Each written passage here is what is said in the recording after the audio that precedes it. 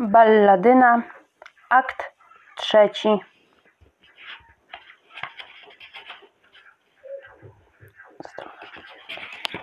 Przypomnienie osób. Pustelnik, Popiel trzeci wygnany, Kirkor, pan zamku, matka wdowa, Balladyna Jalina jej córki, Filon pasterz, Grabiec, syn zakrystiana, Gralon rycerz Kirkora, kanclerz, Wawel dziejopis, Paź, poseł ze stolicy Gnezna, oskarżyciel sądowy, lekarz koronny, pany, rycerze, służba zamkowa, wieśniacy, dzieci. Osoby fantastyczne. Goplana, nimfa, królowa Gopła, chochlik, skierka. Za czasów bajecznych koło jeziora Gopła.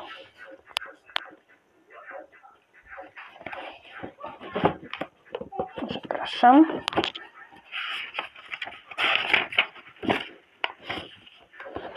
Akt trzeci. Scena pierwsza.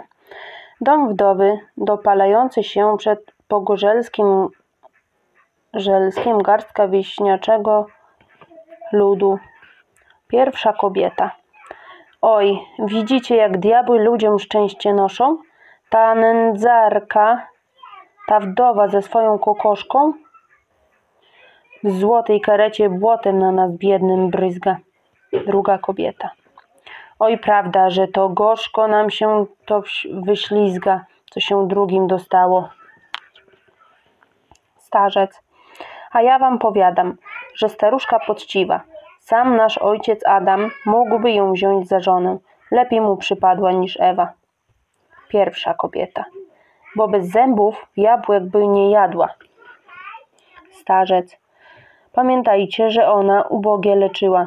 Ty sama, co tu wrzeszczysz, moja pani miła. Już by cię dawno szatan pojął do swej chwały, gdyby nie ta staruszka. Druga kobieta.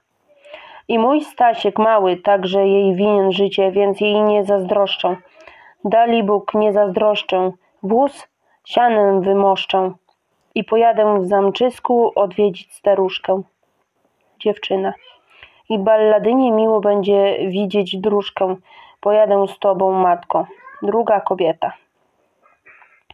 Jak chcesz, moje dziecię? To narwijże róż polnych i bławatków w życie, nawianek dla tej pani. Starzec. Oj, nie jedź, kobieto. Widzisz ten pożar?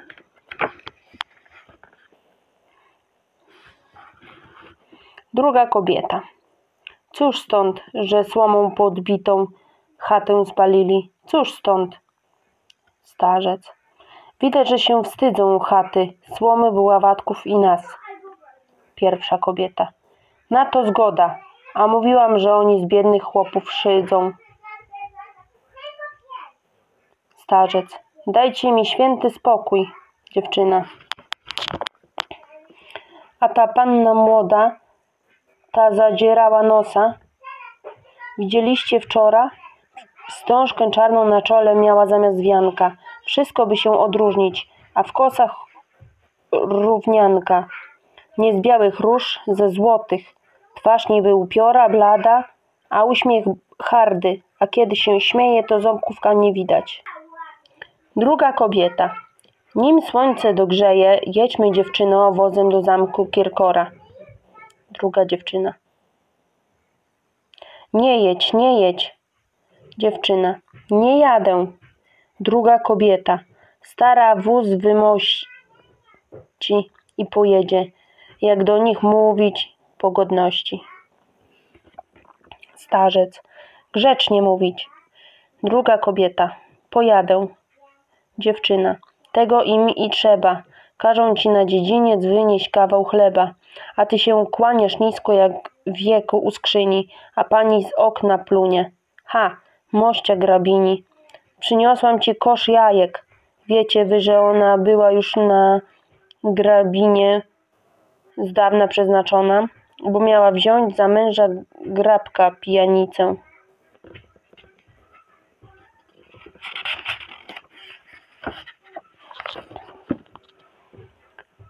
Wiecie o tym? Na Boga, to nie tajemnice.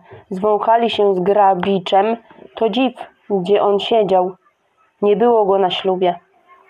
Pierwsza kobieta. Może się dowiedział i poszedł do jeziora z rozpaczy. Dziewczyna. Niełatwo Wisusowi utonąć. Pierwsza kobieta. Otóż grabiec pędzi z lasu, jak zwykle wiejską otoczoną dziatwą, niby kania od wróblów. Grabiec wpada na scenę, za nim tłum dzieci. Dziewczyna. Niech z wami gawędzi, jeśli dotąd nic nie wie, nie mówcie o niczym, narwę grochu na wianek. Odchodzi. Dzieci. Z grabiczem, z grabiczem, tańcujmy, tańcuj, grabku. Przepraszam. Grabiec. Precz, bachury. Starzec. Gdzieżeś to bywał? Czemu tak ponury? Grabiec. Co? Gdziem ja bywał? Dziewczęta. I coś robił? Grabiec. Rosłem. Dziewczęta. Co ty powiadasz? Grabiec. Rosłem. Dzieci. On był osłem. Grabiec był osłem. Grabiec. Milcz, przeklęty tłumie, bo mi się zdaje, że liściami szumię. Gdybym przynajmniej miał tyle gałązek, co miałem wczoraj, nie szczędziłbym wiązek na wasze plecy. Dzieci. Co pan grabek plecie? Grabiec. Do starca. Powiedz mi starcze, czy to można w lecie, czy można to być? Dokąd korą świeżbię? Być wierzbą? Starzec. Wierzbą można zostać wierzbie, ale grabinie to nie. Przepraszam. Grabiec. A ja byłem wierzbą. Starzec. Co mówisz? Grabiec. Mówię, co mówiłem. Bogdaj was diabeł pozamienił w łozy, córki tej wierzby. I piekielne kozy wypuścił na was, ale ja w rozpaczy, ja byłem wierzbą. Starzec. Jednak to coś znaczy. A byłeś w karczmie? Grabiec. Wprzód nim wierzbą byłem. To byłem w karczmie. Starzec.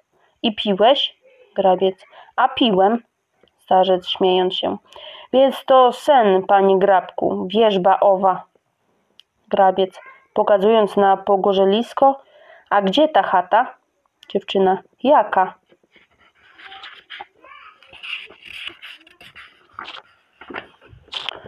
Grabiec. Ta, gdzie wdowa żyła z córkami. Dziewczyna. A toż chata stoi. Grabiec. Gdzie? Dziewczyna. Ty pijany. Kurczę, czego to tak? Grabiec. Gdzie? Dziewczyna. Tu. Grabiec. Niech was poi rosą diablica, jak mnie napoiła, jeśli tu chata. Dziewczyna. Chata się zmieniła, a twój nos czerwony kiedyś ty się zmienił w płaczącą wierzbę. Grabiec. Bogdaj cię ożenił.